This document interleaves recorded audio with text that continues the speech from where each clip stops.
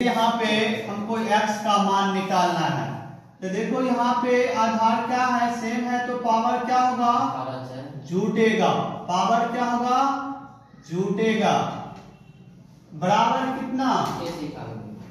Three पे power कितना five तो दो की थ्री थ्री क्या होगा? कैंसिल हो जाएगा। तो यहाँ पे कितना होगा? थ्री एक्स माइनस फोर बराबर